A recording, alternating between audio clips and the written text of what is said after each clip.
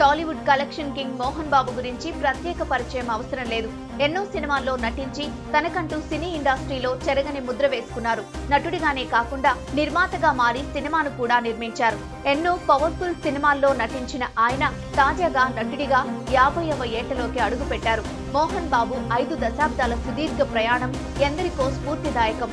సినిమాలతో ఆయన సృష్టించిన రికార్డ్సే సెపరేట్ అని చెప్పడంలో ఎటువంటి సందేహం లేదు. పంతొమ్మిది వందల డెబ్బై ఐదు నుంచి పంతొమ్మిది వందల తొంభై వరకు మోహన్ బాబు ఇండియన్ సినిమాల్లో విలన్ పాత్రల్లో నటించి ఆ పాత్రలకే సరికొత్త గుర్తింపు తీసుకొచ్చారు. అంతేకాకుండా దేశంలో అత్యధికంగా డిమాండ్ ఉన్న నటుడిగా కూడా పేరు సంపాదించుకున్నారు.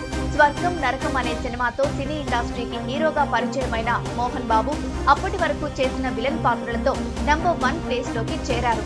ఇక ఆయన హిట్ సినిమాల గురించి ఎంత మాట్లాడినా తక్కువే. అల్లుడు గారు అసెంబ్లీ రౌడీ పెదరాయుడు వంటి బ్లాక్ బస్టర్ చిత్రాలు ఎప్పటి ఎప్పటికీ ఎవర్ గ్రీన్ సినిమాలే.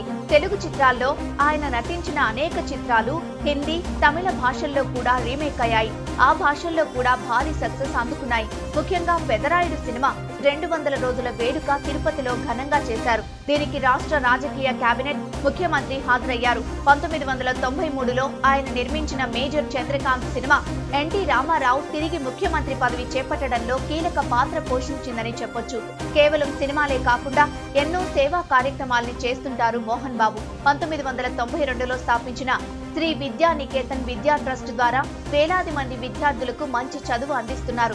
మూడు దశాబ్దాలుగా ఇరవై ఐదు శాతం ఉచిత విద్య అందిస్తున్నారు. ఎన్నో సినిమాల్లో నటించిన ఆయన ఎన్నో గౌరవ పురస్కారాలు అందుకున్నారు. రెండు వేల ఏడులో భారత ప్రభుత్వం పద్మశ్రీ ప్రదానం చేయగా రెండు వేల పదహారు Filmfare life time achievement award అందుకున్నారు. ప్రస్తుతం ఆయన విష్ణు మంచు డ్రీమ్ ప్రాజెక్ట్ కన్నప్పలో మహాదేవ శాస్త్రిగా కనిపించనున్నారు. సినీ ఇండస్ట్రీలో ఇన్నేళ్ళ పాటు నటుడిగా కొనసాగుతూ నిర్మాతగాను డెబ్బై ఐదు చిత్రాల్ని నిర్మించారు. నటుడిగానే కాకుండా నిర్మాతగా మారి డెబ్బై ఐదు చిత్రాలు నిర్మించడం అన్నది ఆల్ టైమ్ రికార్డ్ ఈ రికార్డ్ కేవలం మోహన్ బాబుకే సాధ్యమైంది. మోహన్ బాబు రాజకీయాల్లో మాత్రం రాణించలేకపోయారు.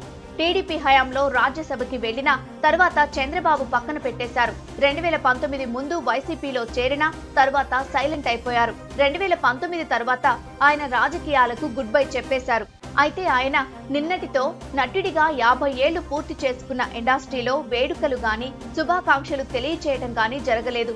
ఆయన పెద్ద కొడుకే మా ప్రెసిడెంట్గా ఉన్నా ఎందుకు ఈ వేడుకలు జరపలేదనే ప్రశ్నలు వెలువడుతున్నాయి.